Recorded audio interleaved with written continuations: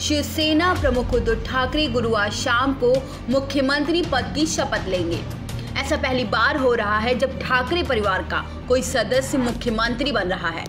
ऐसे में शिवसेना की ओर से पूरी कोशिश की जा रही है कि इस शपथ ग्रहण समारोह को ऐतिहासिक बनाया जाए। यही कारण है कि कई बड़े नेताओं को न्योता भेजा जा रहा है। इसमें कई राज्यों के मुख्यमंत्री और विपक्षी नेता भी शामिल हैं। शिवाजी पार्क में करीब सत्तर हज़ार से अधिक कुर्सियाँ लगाई जा रही हैं। वहीं एक बड़े मंच पर मेहमानों के लिए सौ से अधिक कुर्सियाँ लगाई गई हैं।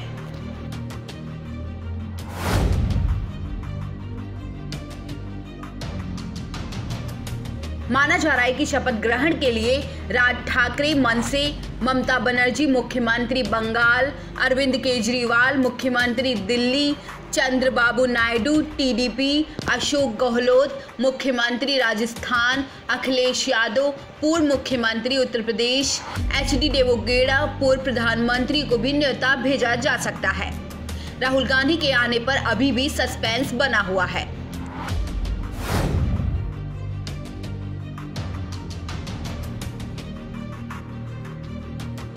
क्योंकि शपथ ग्रहण में अब कम ही वक्त बचा है। ऐसे में उन नेताओं को न्यौता दिया जा रहा है जो मुंबई पहुँच सके।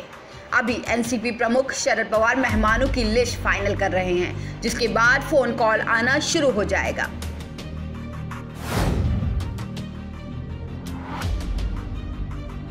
शिवसेना नेता संजय राउत ने मंगलवार को भी बयान दिया था कि वो शपथ ग्रहण समारोह के लिए प्रधानमंत्री नरेंद्र मोदी गृह मंत्री अमित शाह को भी न्योता भेजा जाएगा। हालाँकि, अभी ये कंफर्म नहीं है कि पार्टी की ओर से उन्हें निमंत्रण दिया जाएगा या नहीं। अगर निमंत्रण जाता है तो क्या राष्ट्रीय स्तर के नेता इसमें शामिल होंगे? इस पर हर किसी की नज़र रहेगी।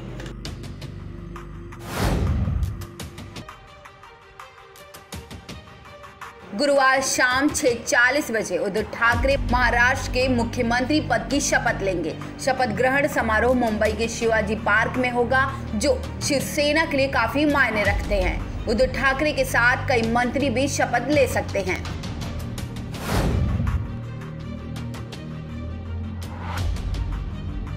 उद्धव ठाकरे के शपथ ग्रहण समारोह को लेकर शिवाजी पार्क में तैयारियों के लिए बीएमसी के कमिश्नर और अधिकारी, पुलिस अधिकारी शिवाजी पार्क पहुँचे हैं।